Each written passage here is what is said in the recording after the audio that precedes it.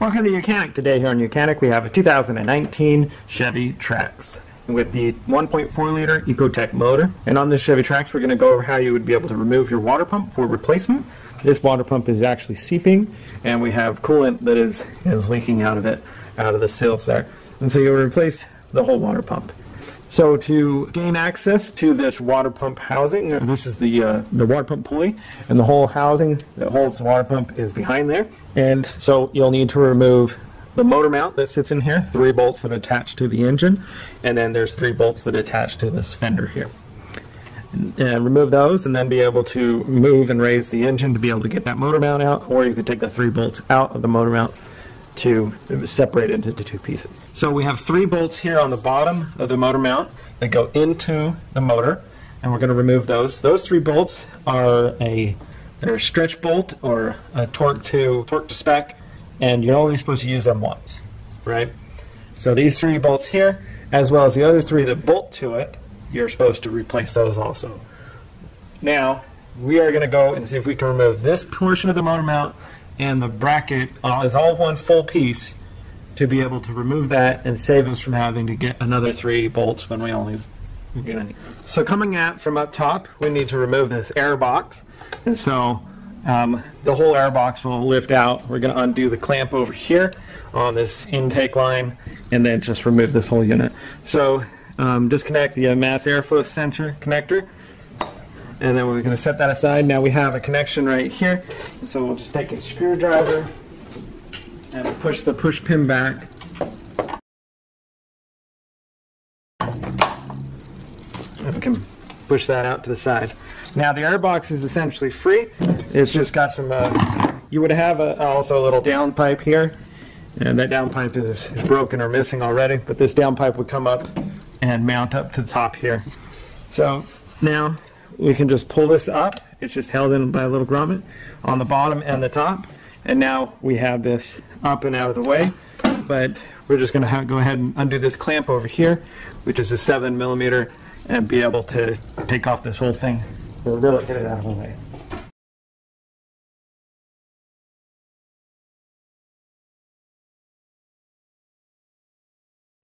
We got that undone and out of the way. I'll put a cover over this, this inlet pipe, so that we don't have anything accidentally fall down in there. So now we have access to the bolts that are on top of the motor mount. And so these are size 18 uh, to remove these three nuts here. These are size 15, but we're going to try to do it and leave these three in as one full unit and be able to take and pop this whole thing out. So I'm going to remove these three nuts here and then the three bolts on to the motor mount that go into the engine.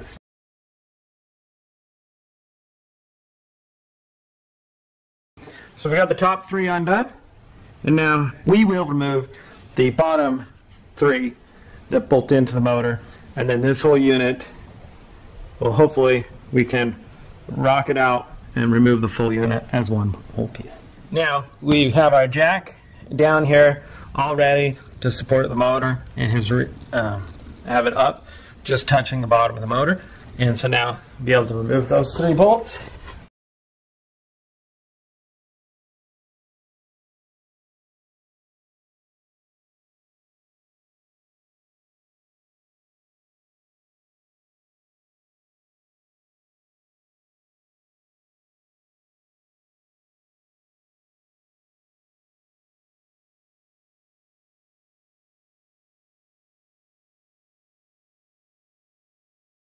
All right, we have those three bolts removed. Now, should be able to go up top and be able to remove the full motor mount. And like I said, we have it supported and being held with the jack. And we can see that it's not moving, so that's, that's a good sign.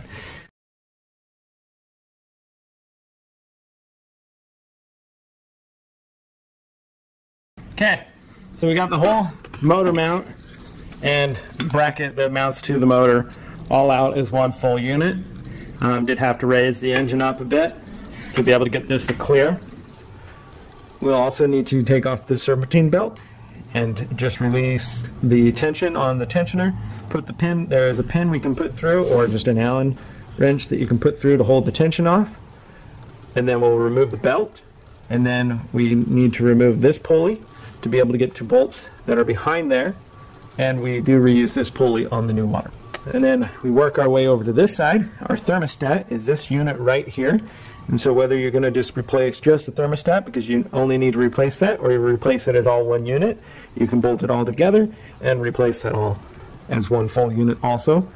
And so to be able to remove it, you'll want to just be undo some uh, electric connectors just to give you the space.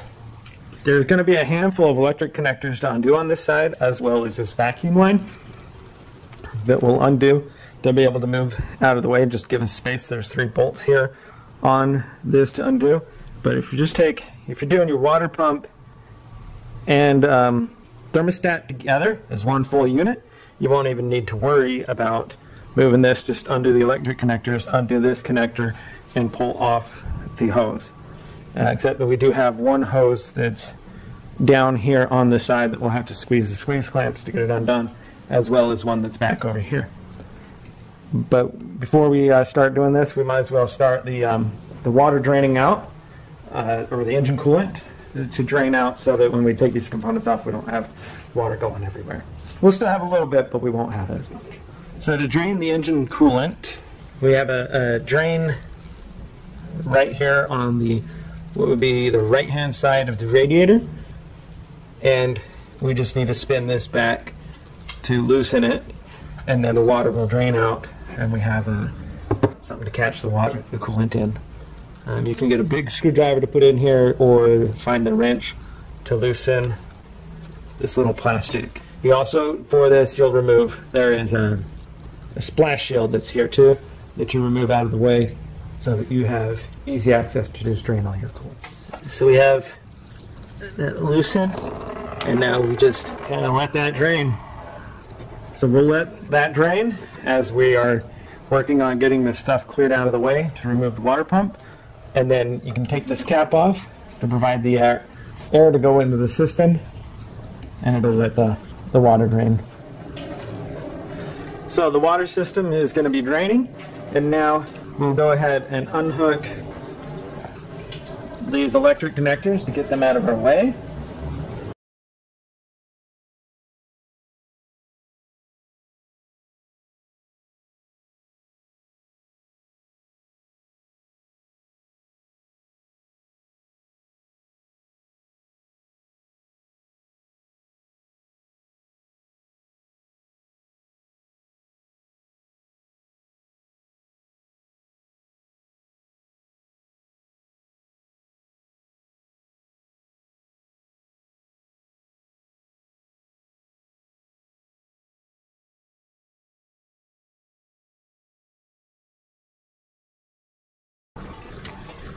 Okay, we got that vacuum line just out of the way. That way it just gives us some extra space.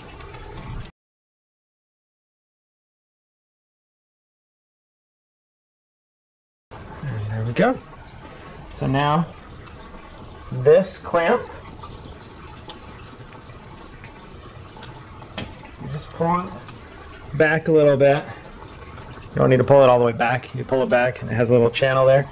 And then we'll be able to pop off this hose here. And when we get ready, we should be able to pop that hose off. And then we'll need to get down inside here and be able to get a squeeze clamp to undo that one. So also we'll uh, take the serpentine belt off and, and be able to pin that up so that we can remove this pulley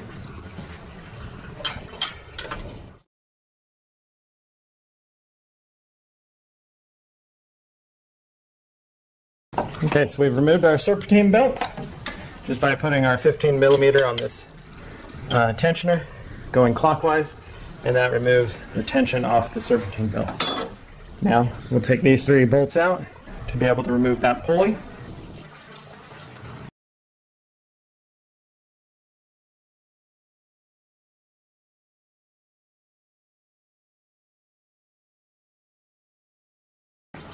So those were a E14 to undo the pulley. And now we can pop the pulley off. Now if you weren't able to uh, see, we've got the seeping antifreeze on the inside here that's coming out of this pulley there. But uh, if you weren't able to have an impact or anything to get in there, you can put a, a wrench on this to hold the pulley from spinning, and in that way you can undo this. So we need to, we have a hose over here to undo. So we have this hose over here to undo. Just need to squeeze that clamp.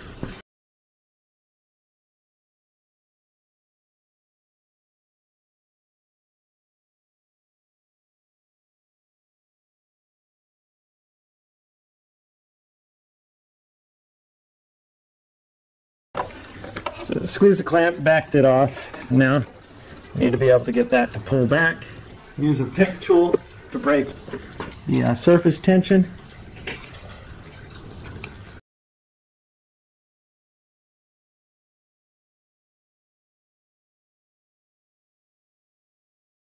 And then we have this one on the front,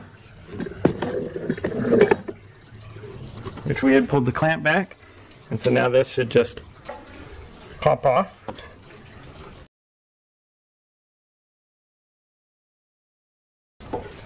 And then last, we have one more hose down there that we got to, to uh, squeeze the clamp together and move it down.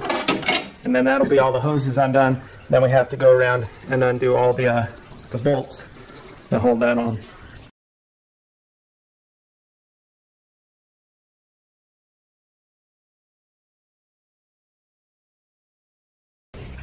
So that should be loosened up. Go around and remove all the bolts to hold this water pump on. And then remove that and we'll be able to get enough space in there to pop that other hose off that's on the bottom there. Okay, so we've got all the hoses undone except for the one over here. It's not completely undone, but we will get that undone, which is connected to the uh, thermostat unit itself. But we can undo all the bolts here that hold on the water pump and then remove that water pump to be able to get ready to install a new one. So we just got to work our way around and find all these E or E10s and just remove them.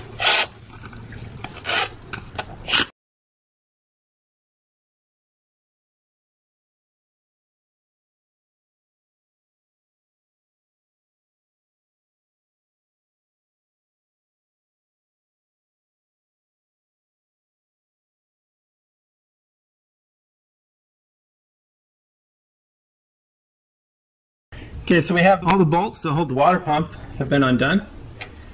And now we just need to pop that water pump. And so we have a little tab here that we can get our pry bar or a large screwdriver in there.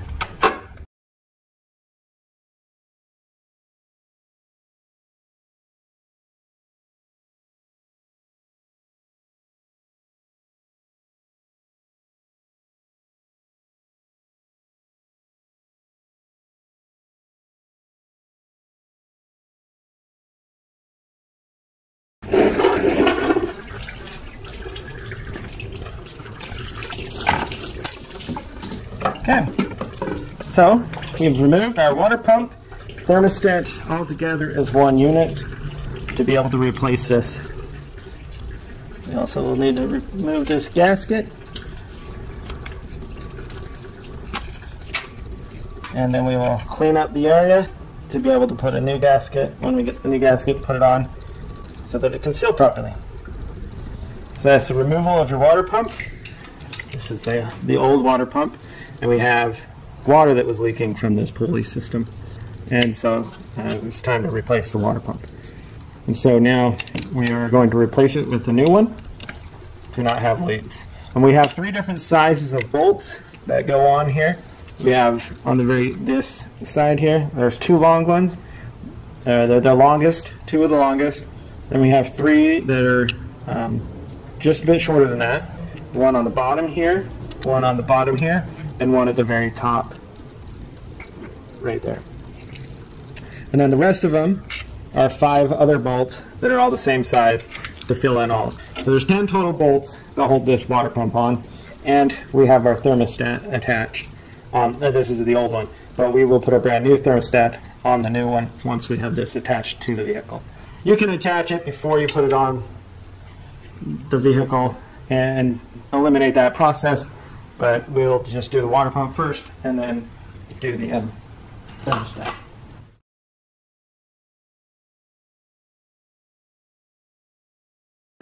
I have two bolts that are holding through to hold the gasket into place. And then we're going to get this lined up and on there.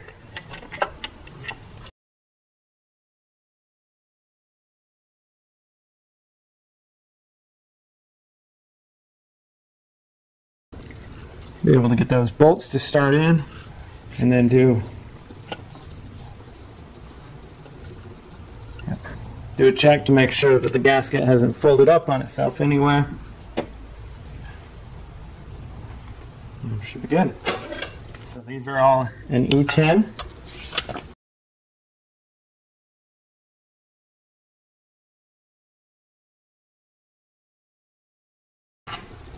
These are the five shortest bolts.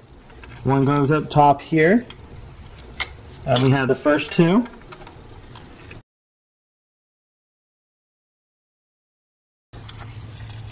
And we have one short there. We have the short right here in the middle.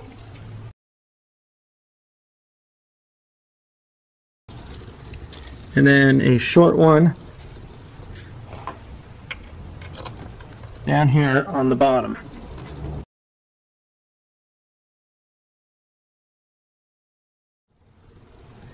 And then we have the three that are longer. There's two longer than this, but there's these three. One goes down here at the inlet to the thermostat.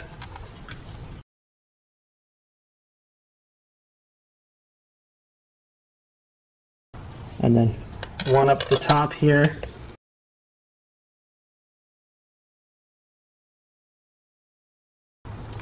And then the last one of this medium range goes in the bottom here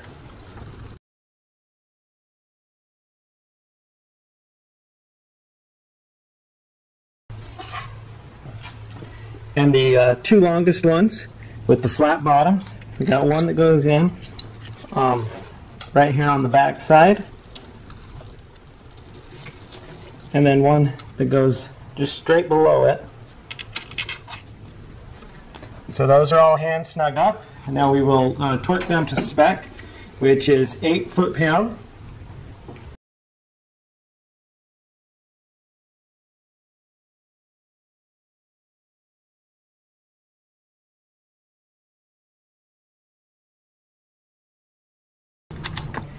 And you'll work on an alternating pattern.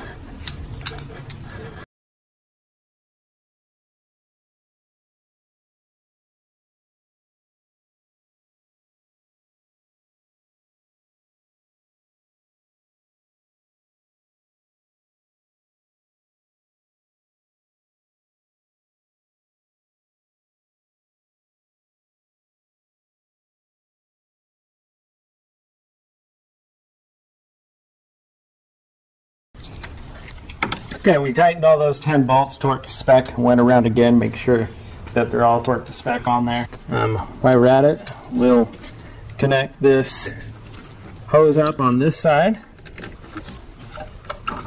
And that way when we put the belt on, or not the belt, when we put the, uh, the pulley on, it's not in the way.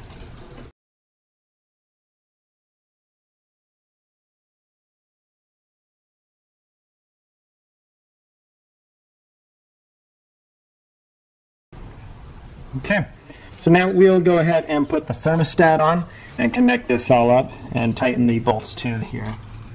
Like I said, you can put the thermostat on while it's outside the vehicle. Probably an easier method to do that, but I opted to do it as ultimate to add it here.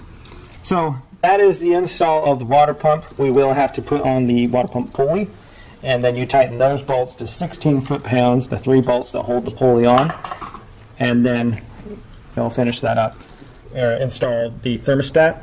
So the thermostat attaches to the water pump housing, and so we just need to move these wires a little bit to the side and be able to install the thermostat on there and tighten up the bolts that hold it.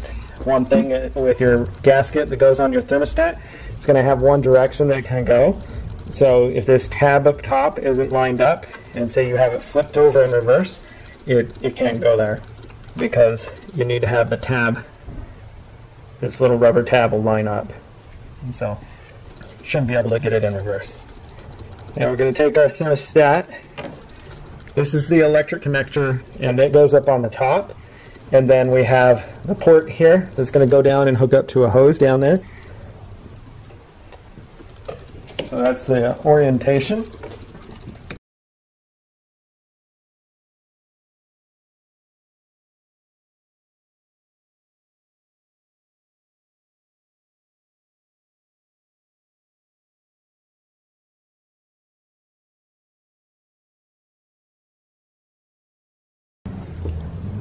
So got just one bolt started in there.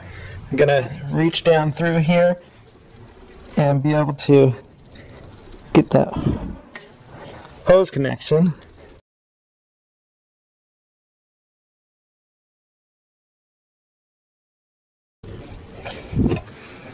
Okay, good. So the hose is connected. Now just need to reach in with the pliers and bring the um, the clamp up.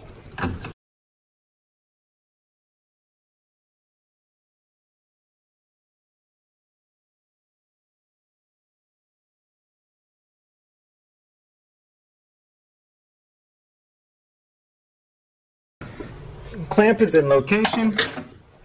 Um, so we've got that clamp that's right down there connected onto that hose there.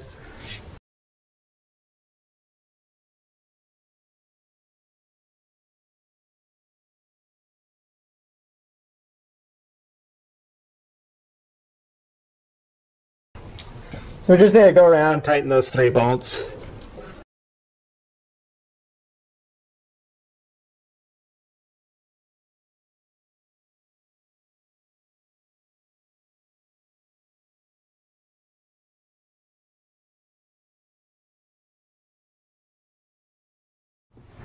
So that is all tightened into place. Um, next time, if you are replacing the water pump, put the uh, thermostat on before you put it on there. If you're just replacing the thermostat, it is going to take a bit of time. But if you're doing the water pump, you do it all together, you'll be just fine. So this larger hose, the clamp is pressed in, and so all you got to do is just push it, and then it'll snap, and that locks into place. So we have that bigger hose connected. Now take off that connector. Uh, it was like a protector for the electric connection. Now we can make the electric connection up put the safety lock in by pressing that red tab in. Then you can go ahead and connect these other electric connectors, which one is to the, um, these are the cam, variable cam adjusters, and then this is the cam position sensor. So we've made those connections there. Then we're going to want to put this vacuum line connection back on and you just press.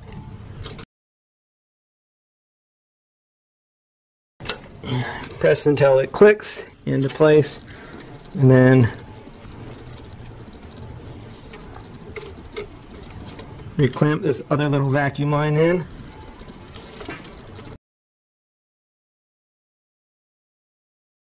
And we have the standard Phillip hose right here we will bring that back over and get it pressed into the um, clamping locations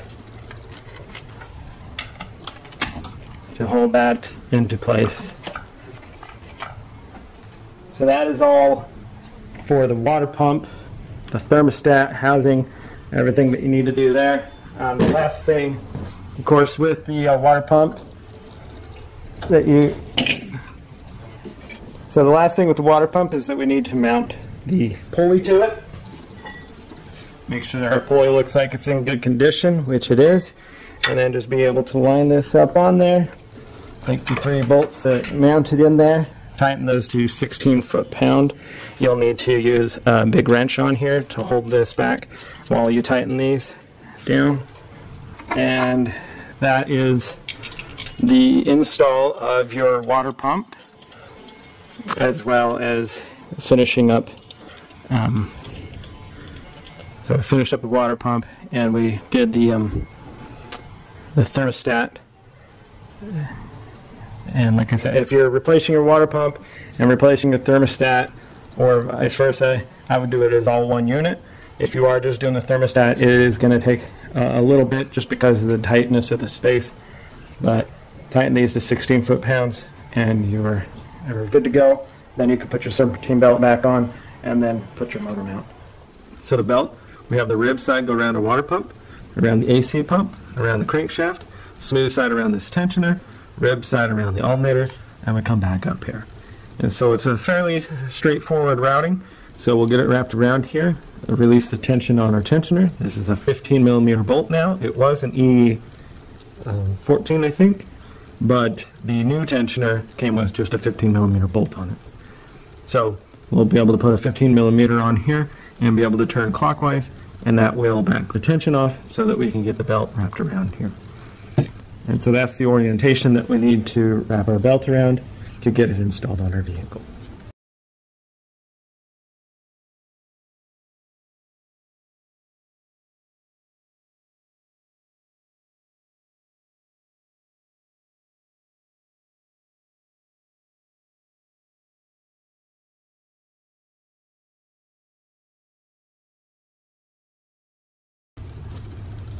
We have that belt. Around all the pulleys set inside the ribs all inside where they should be install the motor mount and and the bracket that holds it. Since we needed to remove it to be able to do the serpentine belt and the tensioner um, water pump alternator and all that you need to remove this so now we kept it I kept it as all one uh, piece. You can undo these three bolts here, and then it'll be two separate pieces, but you can keep it as all one piece. So we kept it as all one piece, and now we'll be able to guide this down here. The bottom bolt, you don't have to have in completely right now, because once you get it in there, you can put the bottom one in, but the two side bolts, you'll want to have in as you place it down in there, because you won't have enough space to push them in if not. So the motor is on a jack, and so we need to raise the motor up to be able to get the clearance to get this motor mount to clear the side of the fender. So we got that over it a little bit. Just need to pull the bolt back.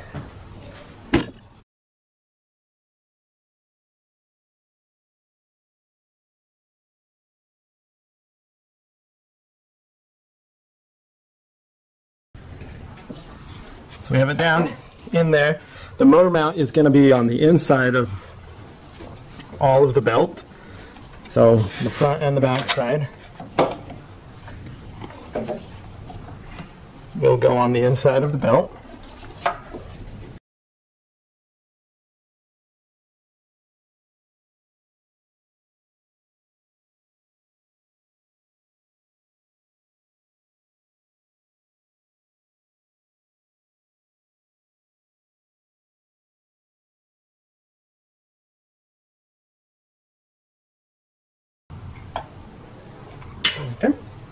So I snug that one up over there. We will torque them to spec. They're torqued to 46 foot pounds.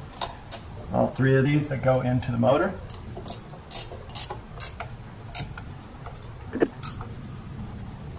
So we got those two. The third one, once we drop the uh, motor down onto this component here, onto the, the fender or the frame, then we will be able to insert the, uh, the bottom one.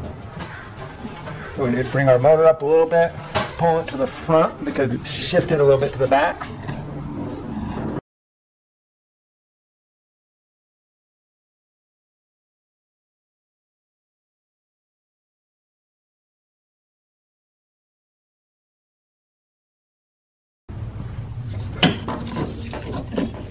And you'll uh, keep your hands clear of the pinch points as you're lowering down. And so now it is sitting on the frame. We have three nuts that are going to go up on the top here. And they get tightened down to 50 foot-pounds. So we have 36 foot-pounds into the engine and 46 foot-pounds in the engine and 50 foot-pounds here to the frame to tighten these the bolts. So 15 on the bolts. Uh, they're size 15 millimeter bolt head to be able to put them into the side of the motor. And then I believe this is 18.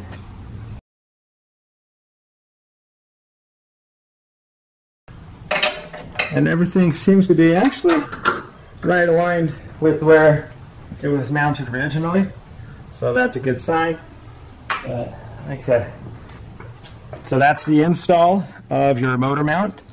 So once you've uh, tightened, torqued the bolts on the engine side, 46 foot-pound, torque these to 50 foot-pound, then the la last thing you'll need to do when you're finally done with all this is just be able to set in the air box with the tube that comes to the intake and just tighten the two clamps on this side